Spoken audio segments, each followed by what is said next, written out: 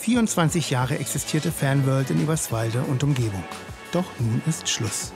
Am 30. September ist die Schlüsselübergabe.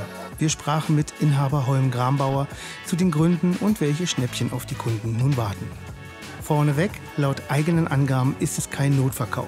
Doch die Ware soll und muss den Shop in der Rathauspassage Eberswalde verlassen. Deshalb der Räumungsverkauf, bei dem die Kundinnen und Kunden noch einmal ein richtiges Schnäppchen machen können. Ja, also wir müssen unser, unser ganzes Lager noch räumen. Äh, da ist noch ähm, Winterware drin, also Schal, Mütze, Handschuh. Ähm, komplette Weihnachtsdeko ist noch im Lager, äh, werden wir noch verkaufen. Und dann haben wir noch äh, ein bisschen Osterware, ein bisschen Halloween, haben wir hier schon ein bisschen dekoriert. Ja, bis das Lager leer ist und bis der Laden leer ist. Es geht wirklich alles durch die Bank, sei es der Kugelschreiber, der Schlüsselanhänger, äh, Schmuck, ähm, alles. Wir machen jetzt erstmal einen Ausverkauf mit 50 Prozent haben nachher irgendwann äh, nur noch Preise von 1, 2, 3, 4, 5 Euro. Ähm, wir holen unsere ganze Winterware, Weihnachtsware noch aus dem Lager und ähm, ich denke mal ab 2. Septemberwoche unsere Preise drastisch nochmal senken. Also nicht nur die Hälfte, sondern drastisch. Für viele Kunden kommt die Schließung überraschend. Doch warum schließt man so eine beliebte Ladenkette?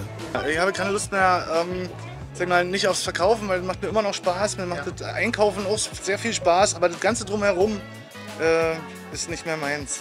Für mich ist es aber nicht abrupt, sondern für mich ist es äh, nee, geplant. Also vor anderthalb Jahren habe ich den Vertrag schon gekündigt. Und sicherlich werden nachher ein paar Tränen fließen irgendwo, wenn wir den Laden abschließen, wenn wir den Schlüssel übergeben. Schauen wir mal. Aber wie geht es weiter? Leerstand soll es laut Grambauer allerdings nicht geben. Ich bin ein ganz normaler Angestellter, ähm, arbeite auch nicht weit weg von zu Hause.